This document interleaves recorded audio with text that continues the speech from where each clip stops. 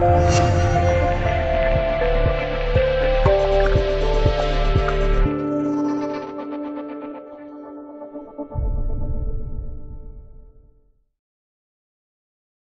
参议员对俄制裁新提案将是最严厉、最具毁灭性的。观察者网消息，美国共和党参议员格莱姆表示，二日提交的对俄罗斯制裁提案最严厉和具毁灭性，包括禁止购买俄新发行国债，规定对俄罗斯政治家和企业家实施新制裁。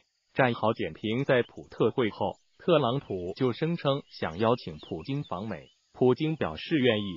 但提出了条件，并且声称可以邀请特朗普访问莫斯科。很显然，从特朗普的视角，是想和俄罗斯来一个大的交易。虽然美俄彼此能给的可能并不多，但特朗普依然需要这样的氛围，以达到自己的全球战略目标。其实，特朗普在竞选时就有这样的想法，只是由于美国国内反俄情绪太过高涨，特朗普身上还有通俄门的压力。于是不得不低头。然而这次特朗普还是顶着压力实现了普特会。就在特朗普顶着压力和普京搞互访式互动的情况下，美国议会又有动作了。多名参议员提交的对俄罗斯制裁提案将是最严厉和最具毁灭性的。美国参议员声明中表示，数位参议员向议会提交了一份法律草案，建议对俄罗斯实施新制裁。其中包括禁止购买俄新发行的国债。草案中还规定对俄罗斯政治家和企业家实施新制裁。这次提案并非民主党或共和党任何一边的议员提的，而是民主党和共和党议员共同的提案。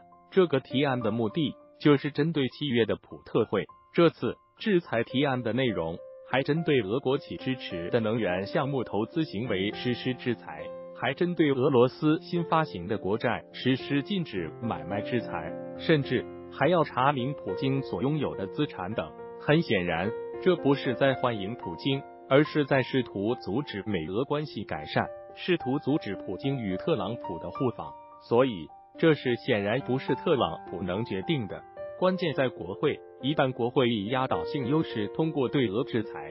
特朗普恐怕还是得继续制裁。一旦特朗普这么干了，那么普京必然会恼怒，美俄的关系缓和就又将告一段落。所以，虽然特朗普很想继续推进美俄关系改善，在美国的国会并不一定支持。很显然，特朗普并不能完全控制美俄关系的改善，因此对普京来说，依然要防止被坑。说不定这边刚刚达成什么协议。那边最严厉、最具毁灭性的制裁就会来了，那真是一件很尴尬的事情。